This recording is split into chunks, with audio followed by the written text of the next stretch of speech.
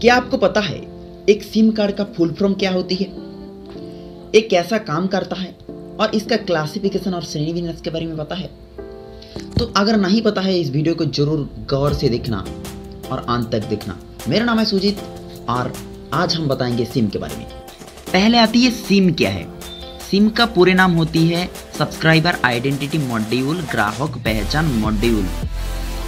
इसी सिस्टम में जो आपका मोबाइल का नेटवर्क प्रोवाइडर है, वो आइडेंटिफाई कर पाता है। आप इसी नंबर का सर्विस को यूज़ कर रहे हैं। और सिम कार्ड का अंदर रहती है एक I M S I number जो 64 बाइट्स का होता है और इसका फुल फॉर्म होता है इंटरनेशनल मोबाइल सब्सक्राइबर आइडेंटिटी और इसके साथ रहती है एक ऑथेंटिफिकेशन की जिसके ज़रिए किसी किसी भी सिम कार्ड का यूज़र को आइडेंटिफाई किया जाता है। एक्चुअली होता क्या है, जब भी आप अपने मोबाइल में उस सिम को लगाएँगे, तब उसका I M S I number network tower में भेजेंगे और उनके पास आई नंबर का पूरी लिस्ट रहती है। और जो टावर है, वो एक रेंडम नंबर को पिक करता है और ऑथेंटिफिकेशन की की मदद से एक नया नंबर जनरेट कर देता है।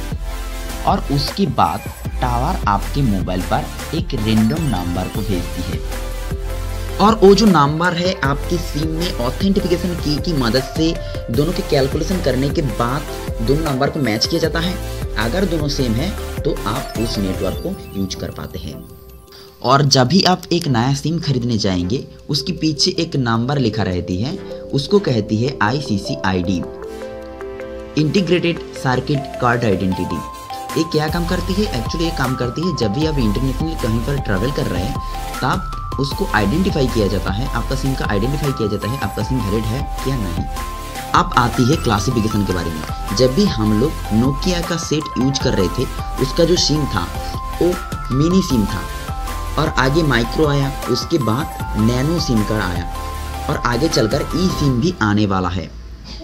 अगर वीडियो अच्छी लगी तो ज़रूर एक लाइक ठोकना।